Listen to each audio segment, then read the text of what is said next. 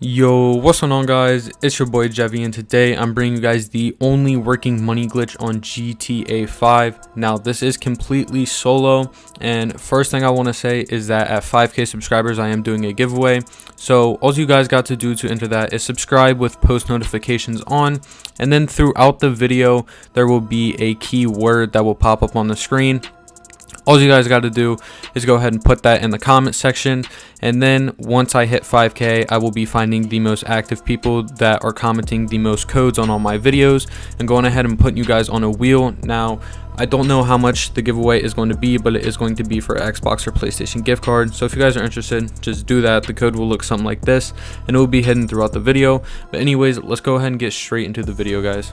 So the first thing that you guys want to do is go ahead and make your way to the casino. Now before you guys click off this video, I want to say that this is kind of different than what everyone else does. I see a lot of videos and they're all completely luck based, but I want you guys to go ahead and watch this through the end, not only to find the code that you guys might be looking for for the giveaway, but also because I want you I want to show you how this is an unlimited money glitch. All you want to do when you get here is turn your spawn location to last location.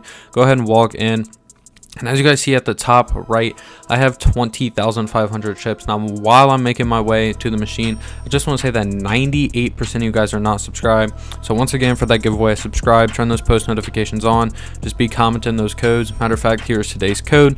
Go ahead and comment that to let me know that you are watching the video and comment that on my next couple videos and you guys will be entered. Uh, of course, it'll be a different code, but you guys get what I mean. So as you guys see, I changed uh, something on my accessories while walking over here. That was to create a loading point, and I will touch up on that in a little bit. But you guys want to go to the diamond miner, and I got really lucky, so I went from 20,500 straight up to 80,000. So if you guys go from like 20,000 just to 21,000. All you guys want to do is keep changing your accessories until you see this little orange loading circle in the bottom right that I will zoom in on. And by the way, when you guys are playing the machines, make sure to click triangle first to do the max bet. So that way, if you hit jackpot, you win like 2.5 million instead of only 500,000. But right here, it is getting ready to load.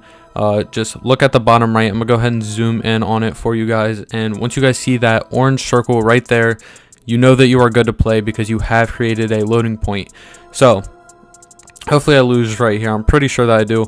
So as you guys see, I went below my 80,000. Now I could keep playing, but I just want to show you guys how this works.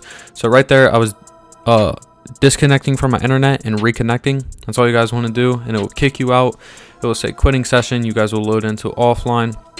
And then of course you guys are going to want to load back online. Now, the reason this is unlimited is because if you're at 100k and you gamble until you drop down to 50k instead of just hoping to make more than 50k, you guys can do this and it will take you back to your 100k so that way it is impossible to lose money and you can only gain money. So once as you guys see I'm loading back in and um, when I get into the casino, you guys will know that you did it right. First off, if you load back at the casino because you had your spawn location on last location, you'll know that you created a safe point. But as you guys see, I am loading in right now. You guys know how GTA 5 is, be taking forever to load through these clouds.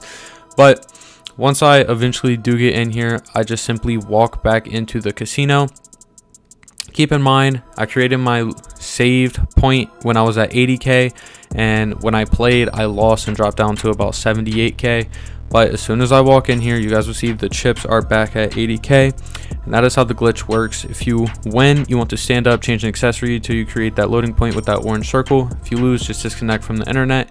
Yeah it's me boy Jevi. I'm out y'all. Peace.